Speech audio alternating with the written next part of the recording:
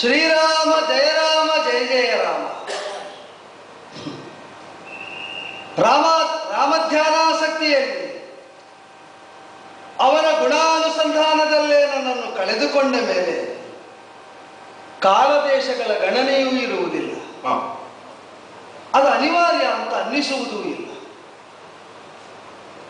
ಮಾತೆಯಿಂದ ದೀಕ್ಷಿತನಾದ ಬಳಿಕದ ಅನುಭವ ಆ ಅನುಭವ ವೃದ್ಧಿಯಾಗುತ್ತಾ ವೃದ್ಧಿಯಾಗುತ್ತಾ ವೃದ್ಧಿಯಾಗುತ್ತಾ ಈ ಹಂತದ ತನಕ ಬಂದ ಮೇಲೂ ಒಂದು ಅರ್ಥದಲ್ಲಿ ಅತೃಪ್ತಿಯೇ ಉಳಿದದ್ದು.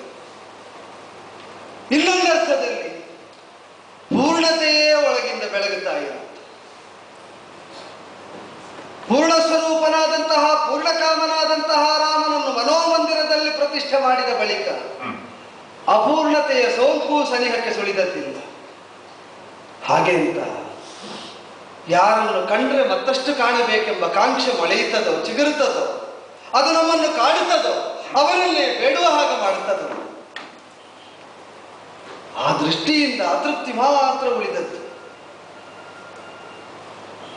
ಕನಸಿನಲ್ಲೂ ಕಂಡಿರಲಿಲ್ಲ ಬಯಸಿರಲಿಲ್ಲ ಅಥವಾ ಕಾಣುತ್ತೇನೆ ಅಂತ ನಿರೀಕ್ಷೆಯೂ ಇರಲಿಲ್ಲ. ಯಾವುದನ್ನು ನಾನು ಅಂಗೀಕರಿಸಿ ಆಚರಿಸ್ತಾ ಹೋಗಬೇಕು ಅಂತ ತಾಯಿಯೇ ಮೊದಲಾದಂತಹ ಹಿರಿಯರೆಲ್ಲ ಉಪದೇಶಿಸಿದರು. ಆ ಶ್ರೀರಾಮ ಎಂಬಂತಹ ತಾಪನೀಯ ಅರ್ಥ.